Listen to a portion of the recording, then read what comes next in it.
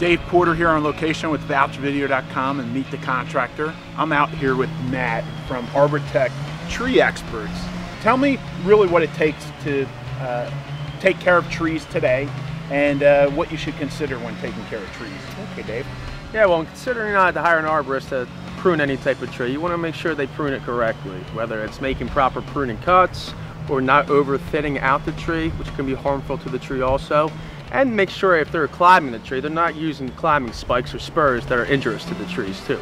I observed you working on this particular project, and what I did notice is first off, uh, the time you take. I mean, you aren't just in there butchering away, you're taking your time, but then the, the second thing, the care for the actual branches and, and removing them and making sure they're clear, and then the safety with the guys on, on the ground and how you guys coordinate.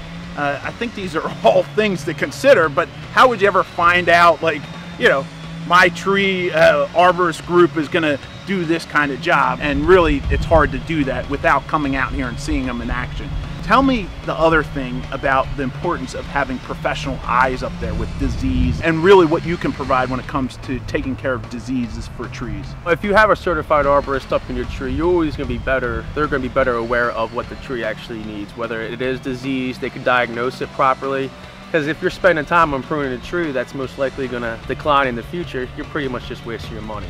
So hiring a certified arborist and someone who really knows what they're doing up there can save you and take care of your trees more in the long run for you.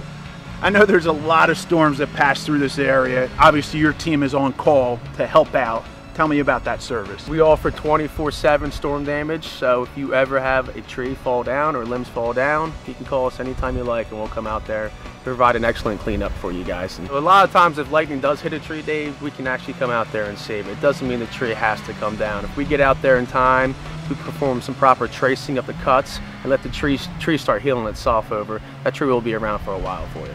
You provide tree pruning services to Bucks County and tree pruning to Montgomery County primarily. What, what areas will you service? We'll service all of Bucks and Montgomery counties and we'll even go over to New Jersey if we need to. It's really a pleasure to recommend Matt and his team. They're out here hard at work and I know you need to get back back to the crew and I appreciate you taking the time and we look forward to recommending Arbor-Tech Tree Services uh, and what I want to say tree experts. Thank you. Thank you. Really appreciate it.